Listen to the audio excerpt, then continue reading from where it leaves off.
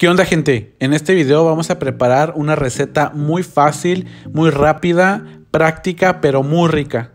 Es tan solo una de las mil formas que hay para preparar arroz, pero si se te antoja, checa el video. Comencemos.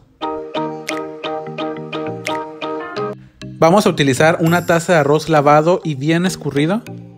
Yo le voy a poner una lata de verdura mixta, un tercio de taza de mantequilla, dos cucharadas de consomé de pollo, un diente de ajo y dos tazas de agua.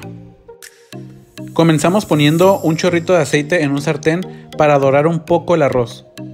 El arroz tiene que estar completamente seco para fin de poderlo dorar.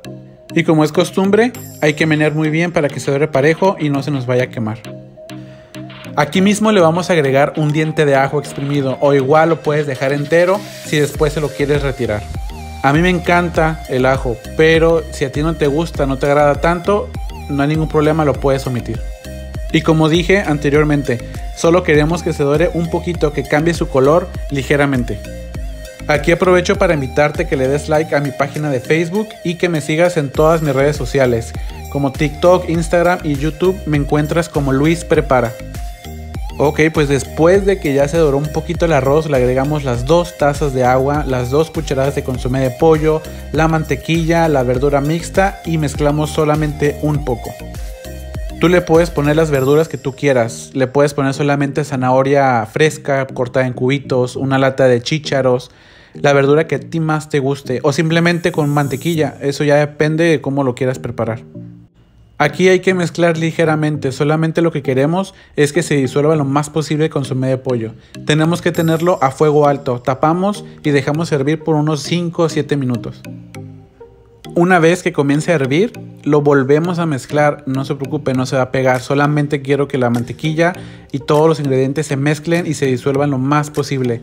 Dejamos hervir por otros 5 o 10 minutos, pero ahora le vamos a bajar a todo lo bajito que pueda tu estufa. Tapamos y dejamos reposar.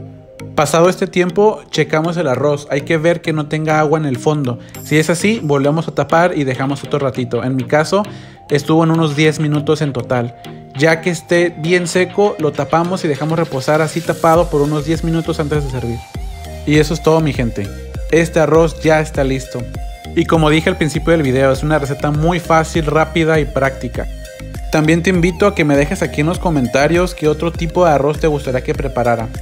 Si te gustó la receta, checa mis otros videos, coméntame qué te parecen y te invito a que me sigas en todas mis redes sociales. Nos vemos en un próximo video.